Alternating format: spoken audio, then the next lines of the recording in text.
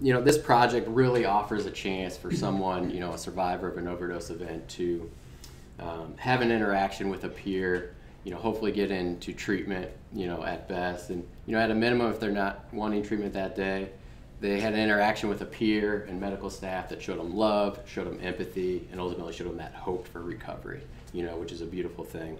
We did start this under federal grants um, from SAMHSA. That was how we were able to support the project in St. Louis. And because that was just so hugely successful um, and having great outcomes with that, uh, we were able to make a request to our uh, state legislators to replicate this model across the state.